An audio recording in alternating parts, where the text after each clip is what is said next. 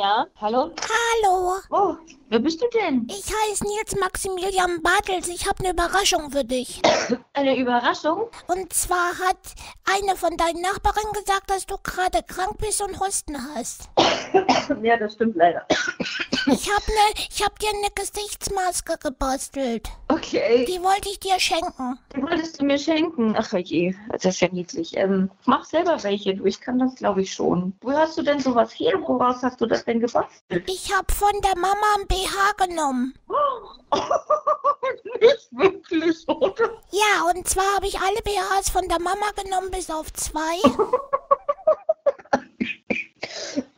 Die habe ich in der Mitte auseinandergeschnitten und da habe ich rechts und links zwei Gummis dran gemacht. Ja, weiß das die Mama schon? Nö, die weiß das noch nicht, aber die freut sich bestimmt. Die freut sich ganz bestimmt. Das brauchen ja jetzt alle. Das brauchen jetzt alle, aber ich glaube, die Mama braucht ihre BHs auch. Naja, die sind ja jetzt schon fertig, die Mundschütze.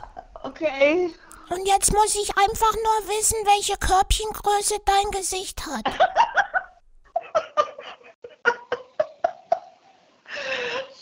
Bisschen, ich habe keine Ahnung. Ich habe noch nie ein BH vorm Gesicht. Manche sind mit Stretch. Aber sag mal, du nähst auch welche?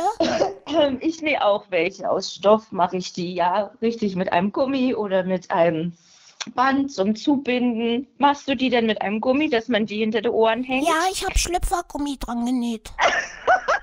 Was denn? Den Schlüpfergummi hatten wir noch. Den habe ich vom Papa seinen Feinripp-Schlüpfer rausgemacht. Du, du nähst ja selber. Wenn du selber welche nähst, äh, wie viel schaffst du da am Tag? Oder schaffe ich einige am Tag? Also ich schaffe bestimmt drei, vier, fünf Stück in einer Stunde. Hey, ich kenne hier einen Haufen Leute, die das noch brauchen. Du kennst einen Haufen Leute aus deinem Kindergarten, nein, aus deiner Vorschule oder woher? Nein, du ahnst gar nicht, wie viele hier beim Radio arbeiten.